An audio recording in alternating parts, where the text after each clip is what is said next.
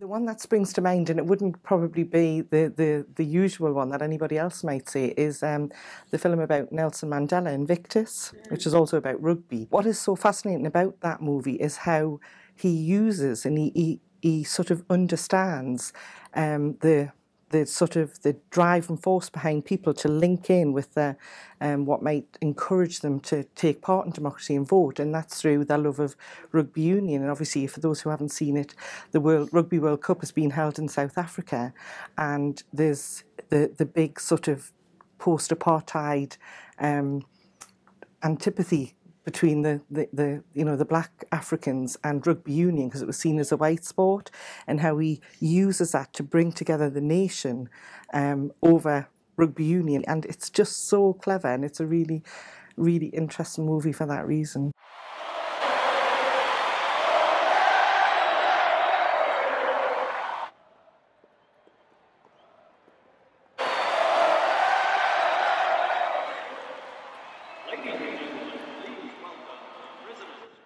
Republic of South Africa, Mr. Nelson Mandela.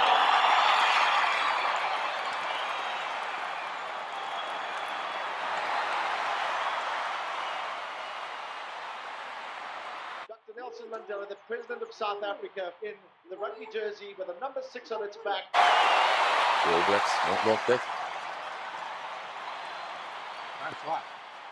Your country is very proud of you. Thank you, sir. Good luck.